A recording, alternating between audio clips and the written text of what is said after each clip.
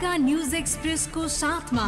Vijay steel born to rule Vijay cement तपाईँको सपनाको मजबुत निर्माण। नेपालको अति लोकप्रिय मोटरसाइकल हिरो सुपर स्प्लेन्डर नयाँ जमानाको ग्लो ग्लो एन्ड लभली बङ्गलादेशको राजकीय भ्रमणमा रहनुभएका राष्ट्रपति विद्यादेवी भण्डारीसँग सोमबार राजधानी ढाका स्थित होटल कन्टिनेन्टलमा बङ्गलादेशका प्रधानमन्त्री शेख हसिनाले शिष्टाचार भेटवार्ता गर्नुभएको छ। परराष्ट्र मन्त्री प्रदीप कुमार गेवाली र बङ्गलादेशका लागि नेपाली राजदूत डाक्टर वंशीधर मिश्र बङ्गलादेशका विदेश मन्त्री डाक्टर एके अब्दुल मोमेन सहित दुवै देशका उच्च स्तरीय प्रतिनिधि सहभागी भेटवार्ताका क्रममा दुई देशबीचको आपसी सम्बन्ध पारस्परिक सहयोग र सहकार्यको विषयमा कुराकानी भएको छ। यस्तै सोमबार नै त्यहाँका विदेश मन्त्री डाक्टर मोमेनले राष्ट्रपति भण्डारीसँग अलग्गै शिष्टाचार भेटवार्ता गर्नुभएको थियो।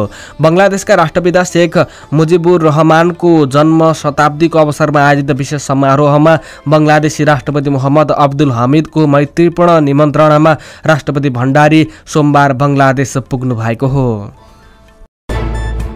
नेपाल कम्युनिस्ट पार्टी एमाले पार्टीका चार नेतालाई स्पष्टीकरण पत्र पठाएको छ।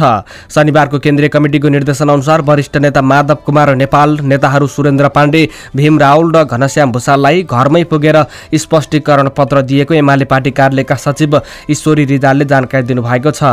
तीन दिनभित्र पार्टी कार्यालयमा आइपुग्ने गरी जवाफ पेश गर्न निर्देशन दिएको रिजालले जानकारी दिनुभएको छ।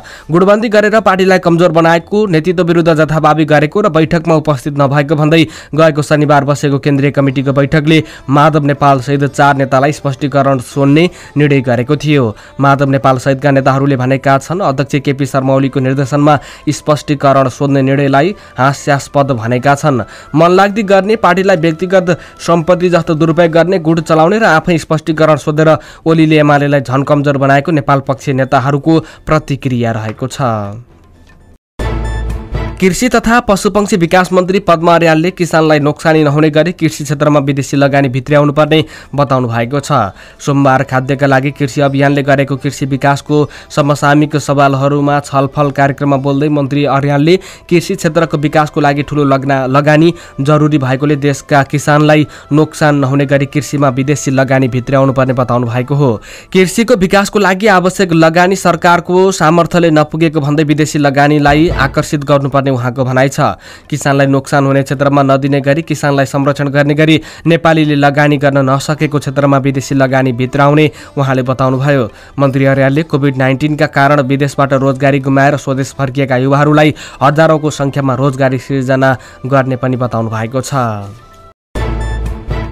सञ्चार तथा सूचना प्रविधि मन्त्री पार्वत गुरुङले सूचनाको हकको दुरुपयोग रोक्नुपर्ने बताउनु भएको छ। सोमबार राष्ट्रिय सूचना आयोगले गरेको विभिन्न भाषाका सञ्चारकर्मीहरूसँग सूचनाको हक सम्बन्धी कार्यक्रममा बोल्दै मन्त्री गुरुङले नेपालमा गलत नियतबाट सूचनाको हकको प्रयोग गरिएकोले दुरुपयोगलाई रोक्नुपर्ने बताउनु भएको हो। सूचनाको हकको अभियन्ताहरूले नै सूचना लुकाउने गर्नाले समाजमा सूचना प्रवाह हुन नसकेको पनि उहाँको भनाइ छ। सूचनाको हकको प्रयोगको नाममा समाजमा विकृति विसङ्गति तथा अराजकता ल्याउने र ठगी गर्ने गरिएको भन्दै यस्तो परिस्थितिको अन्त्य गरिनुपर्ने उहाँले बताउनु भएको छ। मन्त्री गुरुङले सञ्चारकर्मीहरूले पनि सकारात्मक सूचना दिने भन्दा पनि समाजलाई अप्रिय घटना घटाउने खालका सूचना दिने र व्यक्तिको सूचनालाई मानव अधिकार विपरीत प्रयोग गर्ने गरेकोले त्यसलाई पनि अन्त्य गर्नुपर्ने उहाँको भनाइ छ। सांसदहरूले संसदीय समितिले गर्ने अनुगमन प्रभावकारी नभएको भन्दै स्वरूप फेर्नुपर्नेमा जोड दिएका छन्। सङ्घीय संसद प्रतिनिधि सभा अन्तर्गतको राज्य व्यवस्था तथा सुशासन समितिको सोमबार सिंहदरबारमा बसेको बैठकमा सांसदहरूले समितिले गर्ने अनुगमनहरूको प्रभावकारिता नदेखिएकोले नयाँ ढङ्गले कार्यक्रम बनाउनु पर्नेमा जोड दिएका छन्।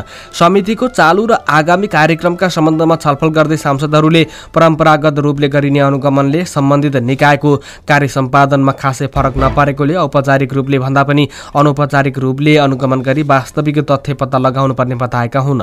नेकपा एमालेका सांसद नवराज सिलवालले सुशासन कायम गर्ने सम्बन्धमा विभिन्न सरकारी निकायमा औपचारिक रूपमा गरिने अनुगमनले उपलब्धि हासिल नगरेको भन्दै सुशासन कायम गर्ने सम्बन्धमा मिडियासँग अन्तर्क्रिया विश्वविद्यालयका विद्यार्थीसँग अन्तर्क्रिया गर्नुपर्ने बताउनु भएको छ। नेपाली काङ्ग्रेसकी सांसद डिला सङ्ग्रौलाले अनुगमनलाई निरन्तरता दिनुपर्ने धारणा राख्नु भएको छ। नेपाल कम्युनिस्ट पार्टीका महासचिव नेत्र विक्रम चन्द विप्लवले प्रधानमन्त्री केपी शर्मा ओली समक्ष आफूहरूबीच भएको सहमति कार्यान्वयनको माग गर्नुभएको छ। सोमबार बालुवाटार पुग्नुभएका विप्लवले प्रधानमन्त्री ओली समक्ष फागुन बिस गते भएको तीन मुद्दे सहमति अन्तर्गत आफ्ना साथीहरूको रिहाई र मुद्दा फिर्ताको लागि आग्रह गर्नुभएको हो। उहाँहरूबीच करिब एक घण्टा भेटवार्ता भएको नेकपाका नेता उदय चलाउने दीपकले जानकारी दिनुभएको छ। उहाँले भन्नुभएको छ सोमबार महासचिव प्रधानमन्त्री ओलीलाई भेट्न बालुवाटार जानुभएको थियो। भेटमा महासचिवले सरकारसँग भएका सहमति कार्यान्वयनको लागि जोड दिनुभएको छ। ओली र विप्लवबीच पछिल्लो राजनीतिक घटनाक्रमका बारेमा पनि छलफल भएको बुझिएको छ।